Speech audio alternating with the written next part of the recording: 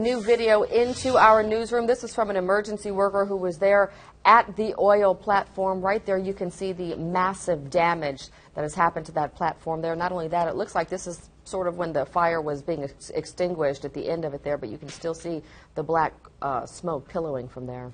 That fire was extinguished around noontime this afternoon. This is obviously the closest view we've gotten of it. We have a, a timeline and a slideshow on our website right now, WDSU.com. But again, this from an emergency worker who was right up on that platform as the fire was being extinguished earlier today. So that is uh, some pretty incredible stuff to see. And you can see the extensive damage right there on the edge of that oil platform. All right, we'll have more of that video coming up for you tonight at 6 o'clock.